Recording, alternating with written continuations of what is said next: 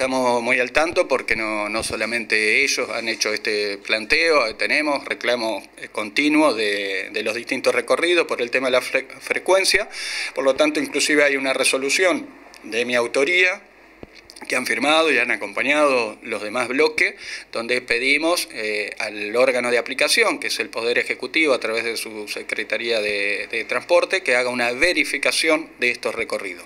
Queremos saber lo que ha pasado para atrás y también de que se sepa de que estamos, digamos, al tanto y que queremos controlar una frecuencia que es nada más y nada menos que lo que ellos han firmado como contrato en el pliego de, bases y condiciones. Digamos. Por lo tanto, es obligación de este Consejo pedir los informes correspondientes y también del Ejecutivo de controlar esta frecuencia. La ley orgánica contempla precisamente la creación de comisiones arbitral y de fiscalización. ¿Esto está funcionando? No, el, pliego de, base y condiciones de la perlita contempla esos dos institutos.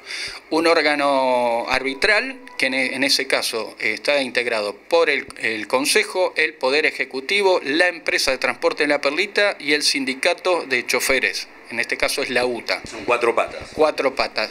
Este Consejo ya en sesiones anteriores aprobó las dos personas que iban a la comisión arbitral, que es una de las comisiones, y las dos personas que iban a la comisión de fiscalización. ¿Quiénes son esos concejales? Bueno, en la comisión arbitral es la concejal eh, Claudia Sef y el concejal José Barreiro, y en la de fiscalización, que es la que ahora, digamos, cuando ya hemos tenido la primera reunión para ponernos de acuerdo cómo va a funcionar reglamentariamente y demás, está integrada por el Poder Ejecutivo y dos concejales de nuestros, de este cuerpo, que es el concejal Néstor Joao y quien le habla.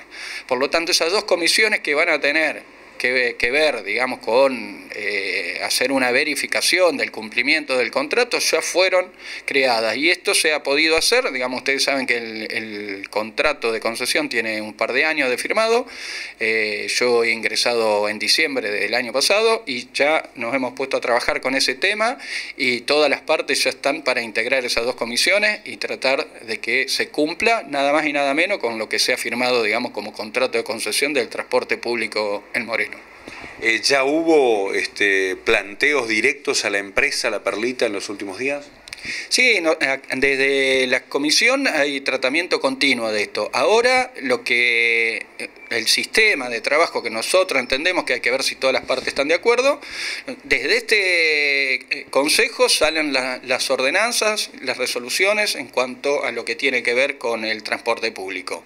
En algunos casos, como hay muchos pedidos de extensión de recorrido, del cual la empresa manifiesta de que esto significa, digamos, eh, ampliar la cantidad de unidades y demás, y que hoy no estarían recibiendo eh, los subsidios por parte del gobierno nacional, bueno, irá a esa comisión de arbitral para ver si se ponen de acuerdo. Si no se ponen de acuerdo, vendrá la comisión de fiscalización que, tiene la potestad de exigirle los libros y demás y, corroborar lo que plantee la, la empresa si en algún momento considera de que eso, la ecuación económica de ellos no no le permitiría, digamos, hacer estas extensiones.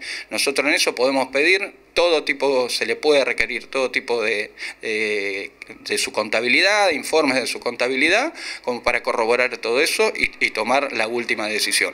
Pero que, eh, en definitiva, el Consejo va a cumplir con lo que tiene que cumplir, que son las ordenanzas que reclaman los vecinos en cuanto a frecuencia, extensiones, etcétera, etcétera.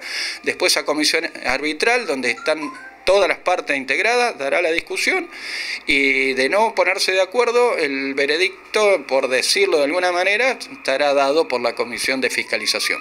Por lo tanto, ahí estaríamos cubiertos todos los, los ámbitos.